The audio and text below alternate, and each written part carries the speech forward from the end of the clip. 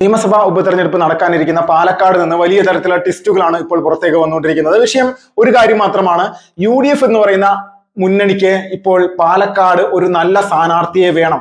കാരണം അവരുടെ ഏറ്റവും മികച്ച സ്ഥാനാർത്ഥിയായിട്ടുള്ള ഷാഫി പറമ്പിൽ വടകരയിലേക്ക് ചേക്കേറിയതിന്റെ പേരിലുണ്ടായ ഒരു ഉപതെരഞ്ഞെടുപ്പ് അതിന്റെ പേരിൽ. അതിന് സമാനമായിട്ട് അത്രയ്ക്ക് ജന പിന്തുണയുള്ള ഒരു സ്ഥാനാർത്ഥിയെ വേണം എന്നുള്ള ഒരു കാഴ്ചപ്പാട് തന്നെയാണ്. കൂട്ടത്തിൽ ഇപ്പോൾ ഏറ്റവും പ്രധാനമായിട്ട് വരുന്ന ഒരു വാർത്ത എന്ന് വെച്ചാൽ യുവജനങ്ങൾക്ക് പ്രാധാന്യം കൊടുക്കേണ്ടിയിരുന്ന ഒരു സീറ്റിൽ വീണ്ടും ഒരു കുരുതി നടത്താനുള്ള ഒരു തീരുമാനത്തിലേക്കാണോ കോൺഗ്രസിന്റെ ഒരു പോക്ക് എന്നുള്ള രീതിയിലേക്കുള്ള കാര്യങ്ങളാണ് വരുന്നത്. അതിന്റെ ഒരു വിവരം ഇന്ന് പുറത്തേക്ക് വന്നിട്ടുണ്ട്. പാലക്കാട് കോൺഗ്രസിന്റെ സ്ഥാനാർത്ഥിയായിട്ട് തൃശൂരിൽ സുരേഷ് ഗോപിയോട് തോറ്റു തുന്നമ്പാടി മൂന്നാം സ്ഥാനത്തെത്തിയ കെ മുരളീധരൻ യു ഡി എഫിന്റെ പാലക്കാട് സ്ഥാനാർത്ഥിയാകുമെന്നുള്ള രീതിയിലേക്കുള്ള റിപ്പോർട്ടുകളാണ് പുറത്തേക്ക് വരുന്നത്. ഇതിനൊരു കാരണം എന്ന് പറഞ്ഞാൽ നിലവിൽ അതൊരു യു ഡി എഫിന്റെ ഉറച്ച സീറ്റാണ് എന്നുള്ള ഒരു ചിന്താഗതി തന്നെയാണ് ഈ പാലക്കാട് കെ മുരളീധരനെ മത്സരിപ്പിക്കാനുള്ള ഒരു തീരുമാനം. തൃശ്ശൂരിലെ തോറ്റു തുന്നമ്പാടലിന് ശേഷം ഇദ്ദേഹം ചെയ്തൊരു പരിപാടി രാഷ്ട്രീയത്തിൽ നിന്ന് പരമാവധി മാറി നിൽക്കുന്ന ഒരു അവസ്ഥയായിരുന്നു. അതിനുശേഷം അദ്ദേഹം പറഞ്ഞത് വയനാട് മറ്റ് രാഹുൽ ഗാന്ധി മാറിയതിനു ശേഷം പ്രിയങ്ക ഗാന്ധിയോ അങ്ങനെ ആരെങ്കിലും ഒന്ന് മത്സരിക്കുകയാണെങ്കിൽ അവിടെ ഇലക്ഷൻ പ്രചരണത്തിന് താൻ പോകും. അതോടൊപ്പം തന്നെ പാലക്കാടോ മറ്റുള്ള പ്രദേശങ്ങളിൽ യു ഡി എഫിന്റെ ഏതെങ്കിലും സ്ഥാനാർത്ഥികൾ മത്സരിക്കുമ്പോൾ അവർക്ക് വേണ്ടി വോട്ട് പിടിക്കാൻ പോകും. അല്ലാതെ കാര്യമായിട്ട് സംഘടനാ പ്രവർത്തനത്തിൽ സജീവമാകില്ല എന്നുള്ള ഒരു കാര്യമാണ് പറഞ്ഞത്. അപ്പോൾ ഇതിൽ നിന്ന് നമ്മൾ മനസ്സിലാക്കേണ്ടത് എന്താണ് എന്നുള്ളതാണ്. ഒരു കാര്യം വ്യക്തമാണ്. കെ മുരളീധരനോട് യു ഡി എഫ് എന്ന് പറയുന്ന മുന്നണി ചെയ്ത വലിയ രീതിയിലുള്ള പാപത്തിന്റെ ഒരു പരിഹാരം ചെയ്യാൻ വേണ്ടിയിട്ടാണ് പാലക്കാട് ഇങ്ങനെ അദ്ദേഹത്തിനെ മത്സരിപ്പിക്കാൻ വേണ്ടി തയ്യാറാകുന്നത് എന്നുള്ളതിൽ ഒരു തർക്കവുമില്ല. അത്രത്തോളം വലിയ രീതിയിലുള്ള ഒരു കടുത്ത പരാജയമായിരുന്നു തൃശ്ശൂരിൽ അദ്ദേഹത്തിന് നേരിടേണ്ടി വന്നത്. തൃശ്ശൂരിൽ അമിത്ഷായോ അല്ലെങ്കിൽ നരേന്ദ്രമോദിയോ അല്ലെങ്കിൽ വീര സവർക്കർ വന്ന് നേരിട്ട് തന്നെ വന്ന് മത്സരിച്ചാൽ പോലും തൃശ്ശൂർ ജയിക്ക ജയിക്കില്ല ജയിപ്പിക്കില്ല തൃശ്ശൂരിലെ ജനങ്ങൾ.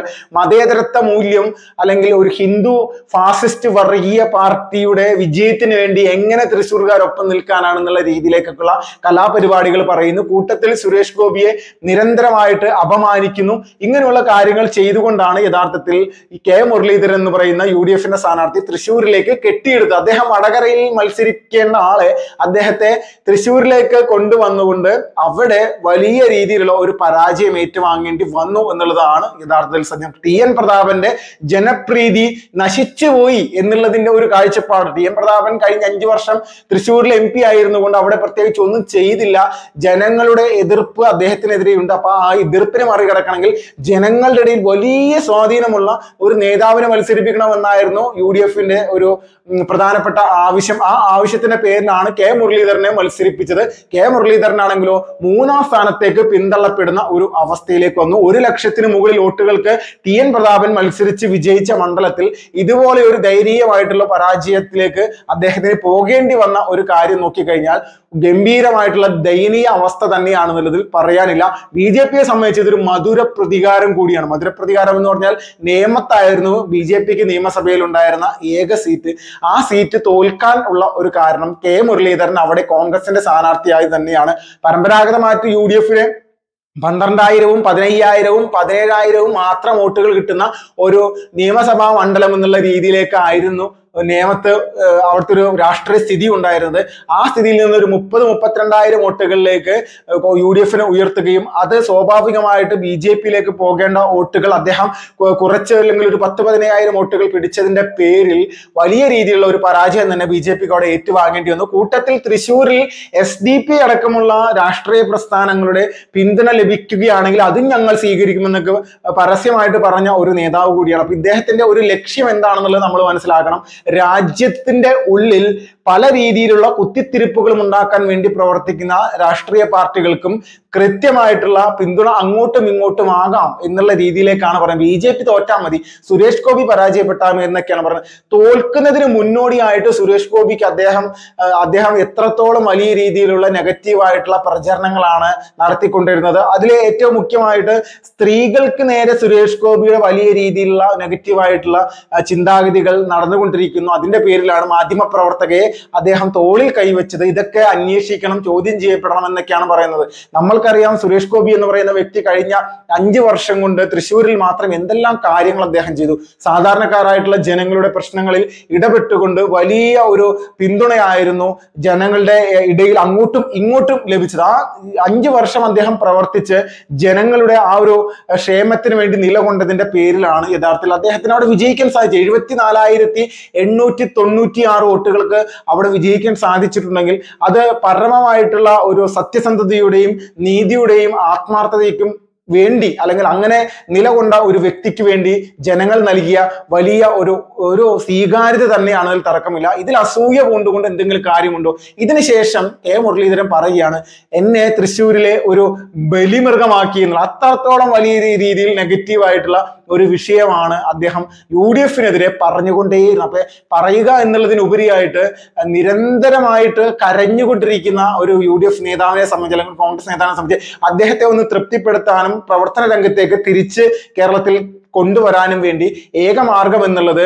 പാലക്കാട് നടക്കാനിരിക്കുന്ന ഉപതെരഞ്ഞെടുപ്പിൽ അദ്ദേഹത്തെ സ്ഥാനാർത്ഥിയാക്കുക എന്നുള്ള ബി ജെ പിയെ സംബന്ധിച്ച് രണ്ടാമത് ഒരു മധുരപ്രതികാരം ചെയ്യുക എന്നുള്ളത് തന്നെയാണ് ബി ജെ പിയുടെ ഒരു ലക്ഷ്യം. അത് വലിയ രീതിയിൽ ഇപ്പോൾ പാലക്കാട് ചെയ്യുമെന്നുള്ള തർക്കമില്ല. വോട്ട് ചേർക്കുന്ന പ്രവർത്തനമാണെങ്കിലും ബൂത്ത് തലത്തിലുള്ള പ്രവർത്തനമാണെങ്കിലും മുനിസിപ്പാലിറ്റിയിൽ മാത്രം ഉണ്ടായിരുന്ന ബി ജെ പിയുടെ അതിശക്തമായിട്ടുള്ള മുന്നേറ്റം കണ്ണാടി അടക്കമുള്ള പല മറ്റ് പഞ്ചായത്തുകളിലേക്കും വർദ്ധിപ്പിച്ചുകൊണ്ട് പാലക്കാട് നിയോജക മണ്ഡലത്തിൽ ശക്തമായിട്ടുള്ള ഒരു അടിത്തറ ഉണ്ടാക്കാൻ കഴിഞ്ഞ കുറച്ച് വർഷങ്ങൾക്കിടയിൽ ബി ജെ പിക്ക് സാധിച്ചിട്ടുണ്ട്. അതിന്റെ ഭാഗമായിട്ട് ഈ പറയുന്ന പാർലമെന്റ് ഇലക്ഷനും വലിയ രീതിയിലുള്ള ഒരു വോട്ട് വർദ്ധിപ്പിക്കാൻ ബി ജെ പിക്ക് സാധിച്ചു എന്നുള്ളതും ചരിത്രപരമാണ്. അപ്പോൾ ഇതിനിടയിലാണ് ശക്തമായിട്ടുള്ള ഒരു മത്സരം ഉണ്ടാക്കാൻ വേണ്ടിയിട്ട് കെ മുരളീധരനെ യു ഡി എഫ് അങ്ങോട്ട് കെട്ടിയെടുക്കുന്നതാണ് പറയുന്നത്. മുരളീധരൻ വന്നു കഴിഞ്ഞാൽ ഈ തൃശ്ശൂരിൽ തോറ്റ മുരളീധരൻ എന്തിനാണ് പാലക്കാടേക്ക് കെട്ടിയെടുക്കുന്നത് പറഞ്ഞാൽ ഷാഫിയുടെ സീറ്റായിരുന്ന പാലക്കാട് മറ്റേ നമ്മുടെ മുരളീധരന്റെ സീറ്റിലേക്ക് വടകര സീറ്റിലേക്ക് ഈ ഷാഫിയെ മാറ്റുമ്പോൾ അവിടെയൊക്കെ തന്നെ തിരിച്ച് ഷാഫിക്ക് പകരമായിട്ട് മുരളീധരനെ എത്തിക്കുക എന്നുള്ള നിലപാടാണ് യു ഡി എഫ് എടുക്കാൻ പോകുന്നത്. അപ്പോൾ ഈ നിലപാടെല്ലാം നമ്മൾക്ക് കണ്ടു കാണാം. ബി ജെ പിക്ക് ഇതൊരു രണ്ടാമത്തെ ഒരു മധുരപ്രതികാരം കൂടി നടത്താനുള്ള അവസരമാകുമെന്നുള്ള തർക്കമില്ല. അത്രത്തോളം സംഘടനാ സംവിധാനങ്ങളെ കൃത്യമായിട്ട് മുന്നോട്ട് ചലിപ്പിക്കാനായിട്ട് ബി ജെ പി നേതൃത്വത്തിന് സാധിച്ചിട്ടുണ്ട് എന്നുള്ള തർക്കമില്ല. വലിയ രീതിയിലുള്ള ഒരു വോട്ട് വർധനവും അത് നടത്തിയിട്ടുണ്ട്. ശോഭാ സുരേന്ദ്രനോ കെ സുരേന്ദ്രനോ സി കൃഷ്ണകുമാറിനെ പോലെയുള്ള മൂന്ന് പ്രബലരായിട്ടുള്ള ബി ജെ പിയുടെ പ്രധാനപ്പെട്ട ആളുകൾ തന്നെയായിരിക്കും അവിടെ സ്ഥാനാർത്ഥികളാകാൻ പോകും ആരെങ്കിലും ഒരാളായി കഴിഞ്ഞാൽ ഉറപ്പായിട്ടും ഒരു കാര്യം നമ്മൾക്ക് സംശയമില്ലാതെ തന്നെ പറയാം. പാലക്കാട് ബി ജെ പി പൊന്താമര വിരിയിക്കും എന്നതിൽ തറക്കം അത്രത്തോളം വലിയ രീതിയിലുള്ള ജനപിന്തുണ ഇന്നുണ്ട്. കേരളത്തിലെ ഏറ്റവും പിന്നോക്കാവസ്ഥയിൽ നിൽക്കുന്ന ഒരു നിയോജക മണ്ഡലം എന്നുള്ള രീതിയിൽ പാലക്കാടിനെ നമ്മൾക്ക് കാണാൻ സാധിക്കും. നിരന്തരമായിട്ട് ഒരുപാട് വിഷയങ്ങളിൽ ഇടപെട്ടുകൊണ്ട് സാധാരണക്കാരായിട്ടുള്ള ജനങ്ങളുടെ പ്രശ്നങ്ങൾ പരിഹരിച്ചുകൊണ്ട് മുന്നോട്ട് പോകുന്ന ഒരു രാഷ്ട്രീയ പ്രസ്ഥാനം എന്നുള്ള രീതിയിലേക്ക് ബി ജെ പി ആകെ കേരളത്തിൽ മാറിയിരിക്കുന്നു. പക്ഷേ സി പി എം ഇവിടെ മറ്റൊരു തന്ത്രം കൂടി പയറ്റുന്നുണ്ട്. ഏറ്റവും ലോക്കലായിട്ടുള്ള ജനപിന്തുണ ഇല്ലാത്ത ഒരു സാധാരണക്കാരനെ പിടിച്ച് അവിടെ എം എൽ എ സ്ഥാനാർത്ഥിയാക്കാൻ വേണ്ടി നിരന്തരമായിട്ട് ശ്രമിക്കുന്നുണ്ട്. ഇത് യു ഡി എഫിന് വോട്ടുമറിക്കാൻ വേണ്ടിയിട്ടുള്ള ഒരു തന്ത്രപ്പാടാണോ എന്നുള്ളത് കൂടി ഇപ്പോൾ അങ്ങനെ ഒരു ആരോപണം കൂടി ബി ജെ പിയുടെ ഇടയിൽ നിന്നൊക്കെ മുന്നോട്ട് വരുന്നുണ്ട്. അപ്പോൾ വരാനിരിക്കുന്ന ദിവസങ്ങളിൽ ഈ ഒരു വിഷയങ്ങളൊക്കെ നമ്മൾ കൃത്യമായിട്ട് കാണാം. കെ മുരളീധരൻ സ്ഥാനാർത്ഥിയാകുമോ? അല്ലെങ്കിൽ അവിടെ വലിയ മറ്റെന്തെങ്കിലും ട്വിസ്റ്റ് നടക്കുമോ എന്നൊക്കെ നമുക്ക് കണ്ടു കാണാം.